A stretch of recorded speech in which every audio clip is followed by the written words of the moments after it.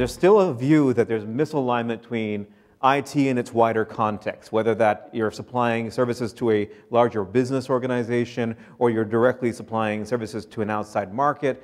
There's a, there's a challenge where there's an alignment issue that's still being addressed. We seem to be going a, at least not in the same direction or at the same speed. Structure for the last hundred years or so has been focused on task specialization, and this specialization has delivered great you know, specific skills, but it's also structurally created a silo-based mentality where I have a lot of people who believe their job is just this. And there's no view or desire to open up the context of the systems thinking mindset. So the reality is a lot of things which are happening today is the connectivity of the PPM space and the ITSM space. You have to have insight on both planned and unplanned work to know what your true capacity is for delivering value. You can't govern what you cannot see. If there's no service owner looking at the continual improvement and legacy, no one's making the claim in a business context what the improvement would actually mean, no visibility into the cost of technical debt, right? What's going to happen? You're going to always justify the net new and postpone the retirement conversation.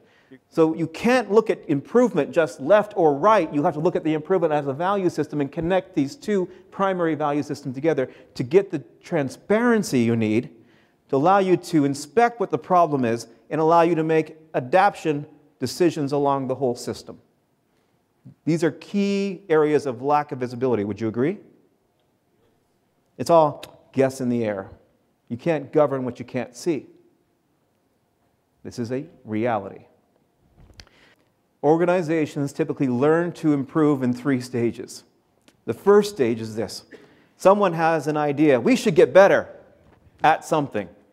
Whether that's internally or externally driven, you decide and wake up one day, we should be good at change management. We should be good at security. We should do architecture. We should do planning. Something arises, somebody comes up with a conversation. That's awesome. Forrest, you've got security and risk. You run with that, bud. All right, and so Forrester runs over in the corner, and then uh, then Sandra will go say, Hey, I'll take change. And she goes over here. And they each create processes in isolation, put them on their own tools and their own databases. And we've got process silos. We have to get a systems mindset to understand how we go from silo behavior. I'm a bumper master. I only do bumpers on the assembly line to I'm a systems community player. There is a national, national identity, not just a tribal identity even if that national system is made up of different people with different diversity. That's also true. Diversity is normal, that's life.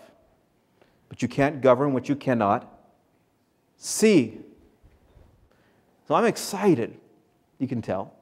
I'm passionate about what's happening. And I'm really excited to see what this is going to do for our community to bring us together into more of a national versus tribal identity. Thank you.